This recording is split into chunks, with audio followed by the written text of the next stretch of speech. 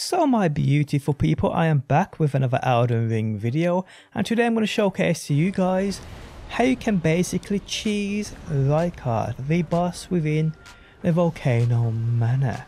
How's it going guys? My name is DPJ and if you do enjoy the video, leaving a like really helps out and if you like what you see and want to see more Elden Ring, be sure to subscribe.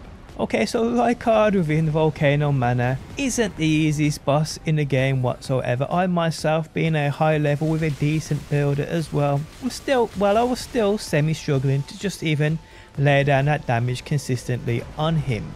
Now I know this will be a problem for many other people too. After having a look online as well, I have seen a few complaints about this dude.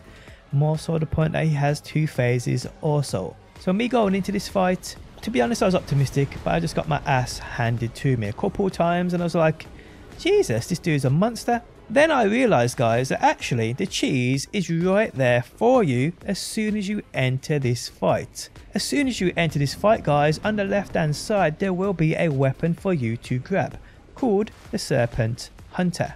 Now, this weapon, although it seems as though it isn't that great, against this boss, guys, it does damage. Extreme damage.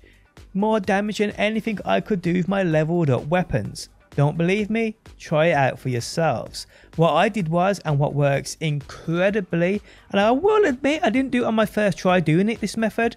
I was just trying to get it down, but I got damn near close. Much closer than I did with any other weapon or sorcery that I'd been using prior to this. All you need to do guys is equip the weapon, go up to Rykard, stand underneath him and keep jabbing him. Now the weapon's special attack does some serious damage if you press it twice like a combo with that left trigger. The second attack does some serious damage. The problem is you will be here standing in fire which does do minor damage every few seconds so unless you turn this right you won't actually get to pull off the attack because the fire damage will actually just stop you doing that attack. But if you do manage to lay it down you will do some serious damage.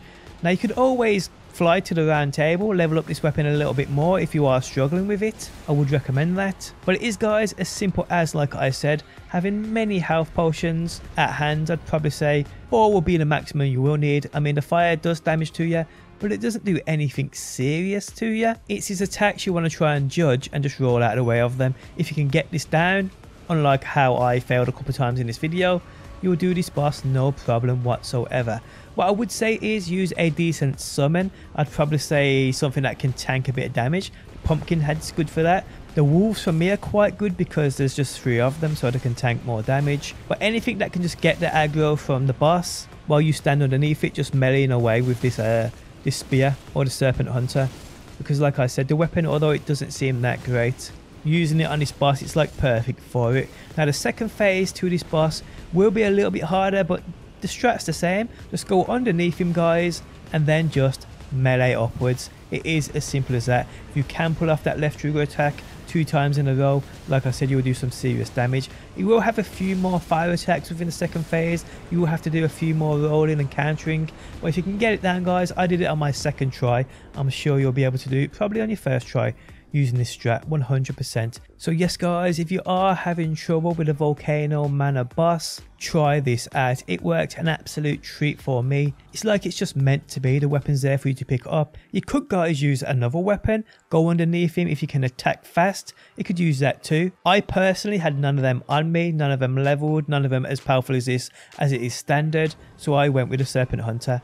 But hey, the strat could work with any weapon as long as you can lay down consistent damage. The cheese is, is literally going underneath him. Like I said, you will take minor damage from the fire, but as long as you have those health flasks, you should be fine. In second phase, you'll probably take a little bit more damage if he stamps on you, but you can easily roll out of the way. This, like I said, unlike me in the video though, but they are avoidable. So yes guys, if you are having trouble with the Rykard Volcano Manor boss, try this out, and I hope it works for you. On that note, the end of the video has arrived. If you enjoyed it, leaving a like really helps out. If you like what you see and want to see more Elden Ring, be sure to subscribe and hopefully people, I will see you on that next one.